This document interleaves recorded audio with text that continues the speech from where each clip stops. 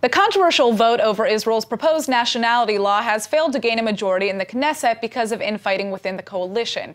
The law would officially cement Israel's character as a Jewish state, but opponents say it's discriminatory at best and intentionally racist at worst. Now, here to help us discuss the, this further are Adi Arbel of the Institute for Zionist Strategies and Sharon Abraham Weiss, an attorney and the executive director of the Association for Civil Rights in Israel. All right, thanks for joining us. Now, the big question do you agree with this law? Why or why not? Should I start? Um, yeah, go ahead. We don't agree with this law. I think it's challenging the democratic uh, identity and character of Israel, and um, hence it shouldn't be sh shouldn't pass in in this way. Um, should I get into the details of? Well, uh, well, Adi, why don't you give okay. your take on this as well, and we, we are strongly uh, pro this law okay. because actually in Israel we have uh, almost we have 13 basic laws define Israel as a democratic state. What's the meaning of a democratic state? We don't have any basic law that define the Jewish character mm -hmm. of the state. And and, and, and in what ways do you believe that this would be, I guess, challenging the democracy of the state of Israel? So there are three things that we refer to. One is the subordinate, subordinating the uh, democratic uh, character of Israel into the uh, Jewish character of Israel.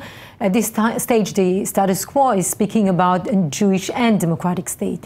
So the, the, the suggested law is going to say that the Jewish uh, law is prevailing. This is one thing. The other thing is the uh, Arab minority. 20% of the Israeli citizens belong to the Arab minority. And this law says that this minority is, uh, is not getting its rights, not as individual and not as collective. In uh, housing, uh, and in the language, which is now an official language in Israel, is not going to be an official anymore.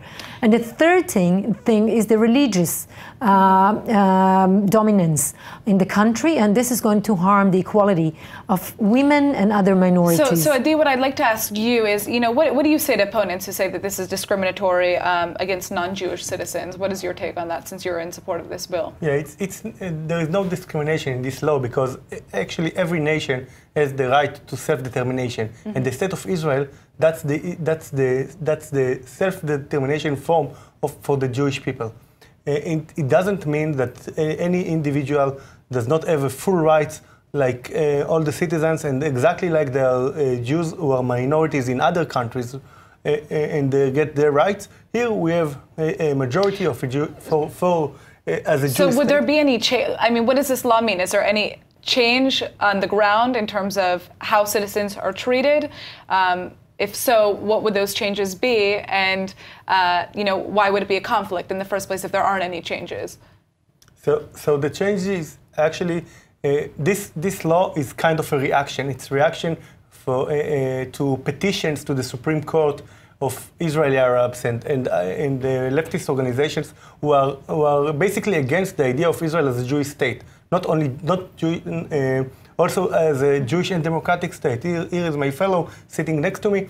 Uh, she is a part of the associa Association of Civil Rights uh, uh, uh, in Israel, and that NGO is, is uh, proactive against the definition of Israel as a Jewish and democratic state. I disagree. I, I, in, in 2007, so, in 2000. Well, I'd like to hear what her, her okay. response is. So I that. disagree. Uh, we are for the definition, a communal uh, definition uh, for the Jewish minority, but at the same time, this identity, identity and the definition should, as, a, as a class should be to the minority as well. And I'll give you examples. What, how, what are the implications on the ground?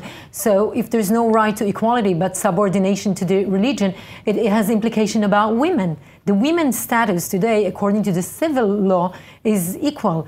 According to uh, the religious, is not always uh, equal. Another example is about the Arab minority. That today it's a formal language in Israel, so uh, the forms in the government supposed to be in both languages, and All it's right. not going to be there anymore afterwards. All right. Well, thank you both so much for joining us to to tell us, uh, give us a more in-depth uh, look at this law.